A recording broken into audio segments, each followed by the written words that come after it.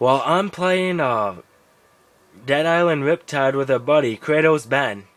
And if you saw my last video, uh, we were land sailing. Not with uh, my buddy Kratos, but uh, now uh, it's with him. I taught him how to land sail, so uh, let's have some fun. Feature him on one of my YouTube videos.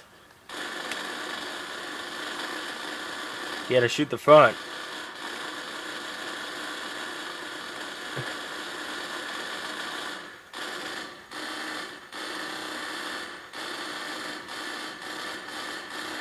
Shoot the back, shoot the back.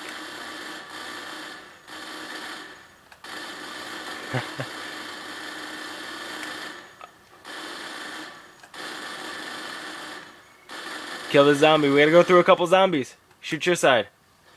Oh, shoot the back maybe. Yeah. Shoot the front, shoot the front. Oh, we gotta take out we gotta take out these zombies behind us. They're gone. Oh no. Oh, how do we keep missing them? We gotta take them out. They gone. Run over their bodies again, I guess. That's cool. Another one. Now, this is one of the coolest ways to get around, and it is a glitch because if you played this game, in the water, these boats go maybe about 15 miles an hour. On land, they go 70, 80, which is actually crazy. And there is another zombie, so we're gonna take him out. Ah.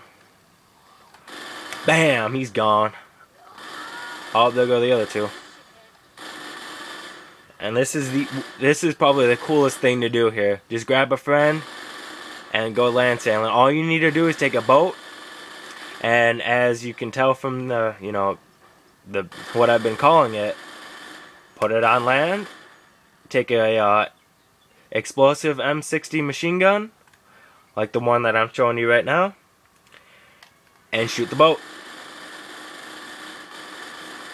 That's all you do. And it's a lot of fun. And you can also fly. If you get stuck, get out of the boat and shoot the boat with this gun. Now, a lot of people saw, you know, the glitch with uh,